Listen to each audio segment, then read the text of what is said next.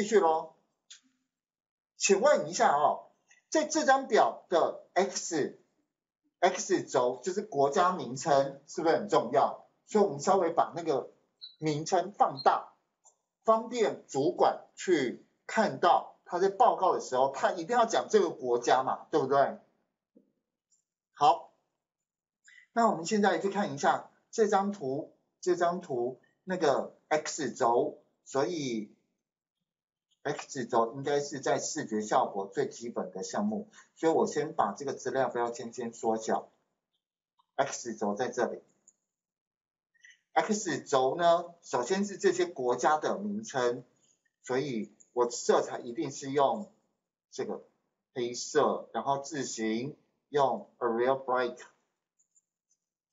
然后这个字的大小设成十四。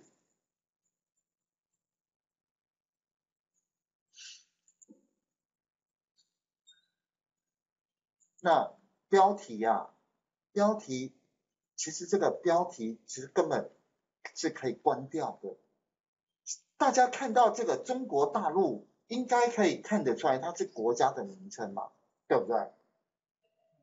所以，我其实很不喜欢放标题，浪费那个空间。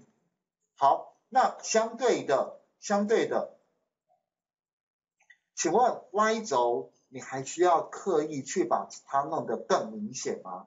不需要，因为每一个百分点都已经在这个 bar 的上面呈现了，所以你把这边变得很清楚是多此一举。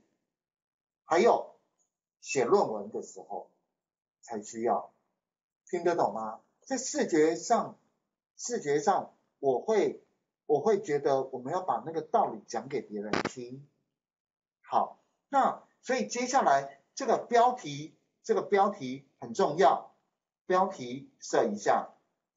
既既然是一个统计图表，那我们的标题，标题，哦，标题在一般，标题在一般里面。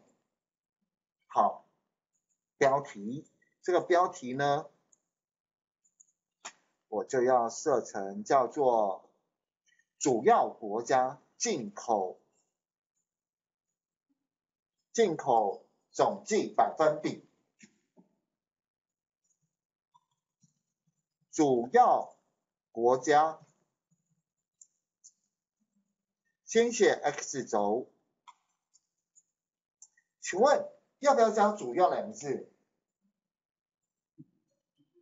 要，要，太重要了，你不能写各国，听得懂哦？好，还是随便。记住没有随便这件事情哦。好，主要国家好，x 轴写完了，接下来是不是写 y 轴？y 轴是什么？那个比例，对吧？我写完是这样写，就是先把它是比例，我我一面我要是没写出这个重点，那是不是就偏了？所以我先把最重要的重点比例写出来。主要国家比例，那什么比例呀？总计总计百分比，对吧？什么的总计百分比？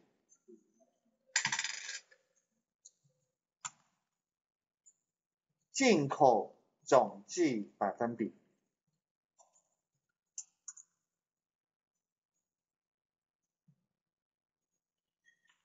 进口总计比例，